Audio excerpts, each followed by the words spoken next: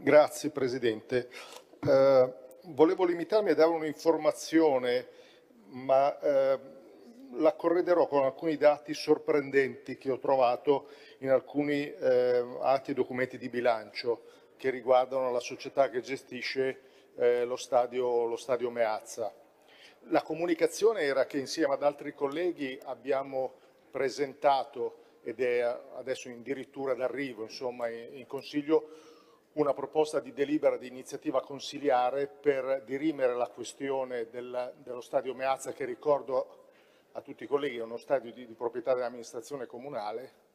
eh, di procedere con un bando pubblico, di procedere con un bando pubblico per determinare la ristrutturazione, la, la riqualificazione dello stadio di tutta l'area, mantenendo in modo vincolato la proprietà sia dell'immobile che dell'area in capo all'amministrazione comunale. Perché dico questo? Eh, perché questo lo dico ai colleghi che anche mi avevano chiesto di sottoscrivere una richiesta di eh, indizione di, una, di, un consiglio straordinario per avere il sindaco, eccetera, eccetera. Guardate,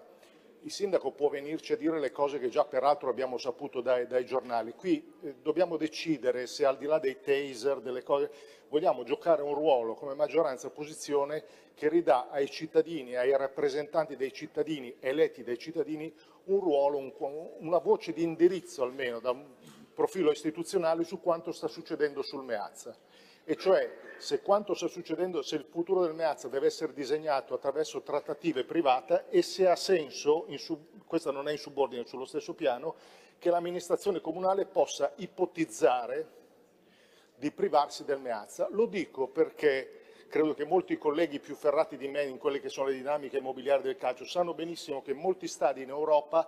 ormai non dico che lo stesso livello di incassi o superiore, ma si stanno ormai votando a eh, dedicare eh, e a finalizzare l'utilizzo dei propri stadi di proprietà molto spesso per attività extracalcio,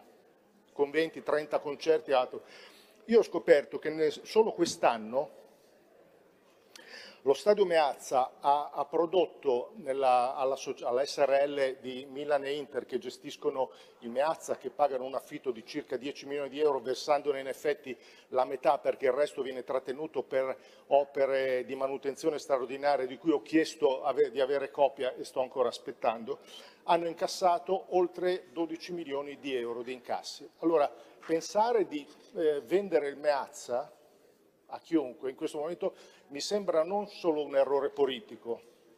mi sembra un errore, diciamo, erariale, per, per stare sul generico. Mi sembrerebbe una, una, follia, mi sembra una follia perché eh, noi siamo ancora in attesa di avere eh, nero su bianco la, eh, la richiesta di valutazione all'Agenzia dell'entrata del Meazza e la risposta dell'Agenzia dell'entrata del Meazza, ma con questi incassi che continuano ad aumentare,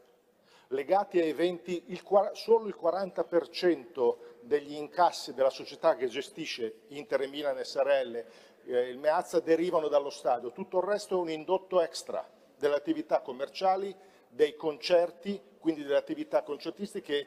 procurano eh, ricavi. Sto parlando dei ricavi legali,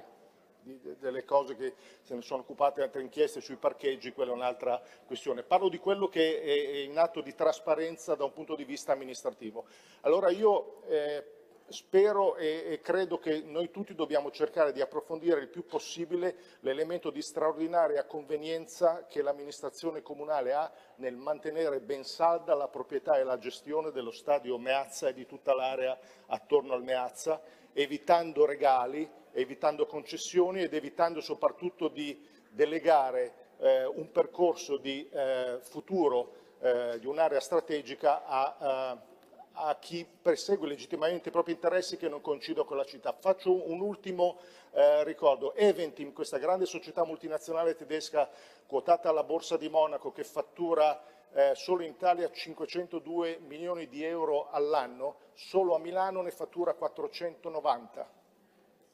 Milano, a Milano che cosa rimane? Io non lo so francamente.